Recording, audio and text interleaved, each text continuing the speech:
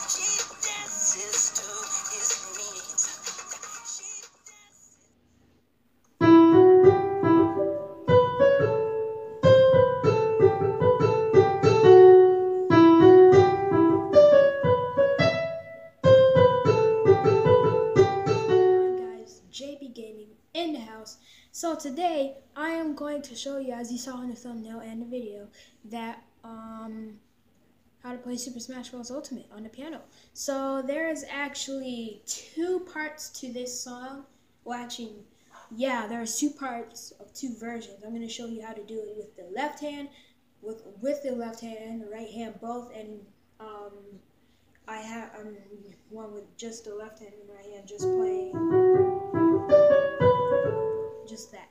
So yeah, as I said, there's two parts with this. So if you want to see the other part, just go.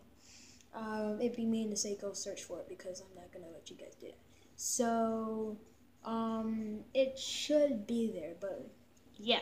Um, anyways, let me show you how to play it.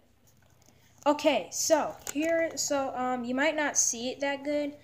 So hold on, um, I'm gonna try this something. I'll be right back. Okay, um, let's just do this. So I'm gonna have to see it too. So um, the first note you can't see my fingers is going to be an E, and like all the Smash themes, um, they're all in a minor key. So this one's in E minor or E. I don't know.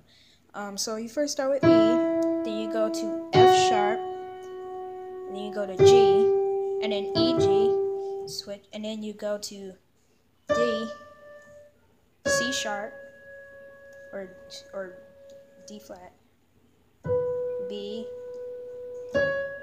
C sharp, A, and then C,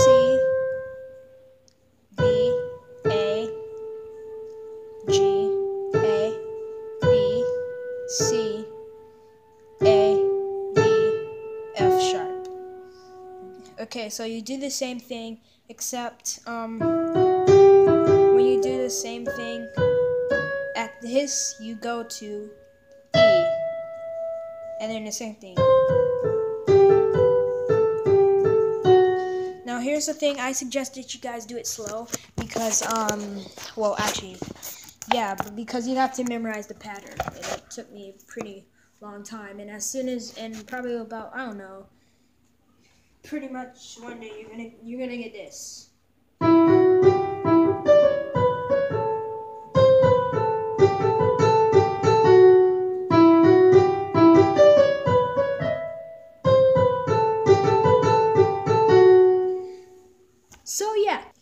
Anyways, guys, thank you so much for watching.